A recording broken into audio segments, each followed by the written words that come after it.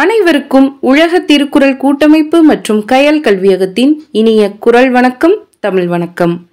தினம் ஒரு திருக்குறள் பகுதியில் நாம் இன்றைக்கு காணவிருப்பது அதிகாரம் ஐம்பத்தி இரண்டு தெரிந்து வினையாடல்.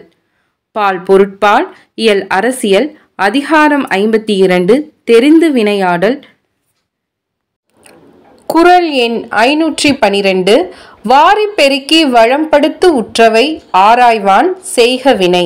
இதன் விளக்கம் வருமானம் வரக்கூடிய வழிகளை அதிகப்படுத்த வேண்டும் அதை கொண்டு வளத்தை உண்டாக்க வேண்டும் அதில் வரக்கூடிய பிரச்சனைகளை சரி செய்ய வேண்டும். இவற்றையெல்லாம் செய்ய வல்லவனால் தான் ஒரு செயலில் ஈடுபட முடியுமாம்.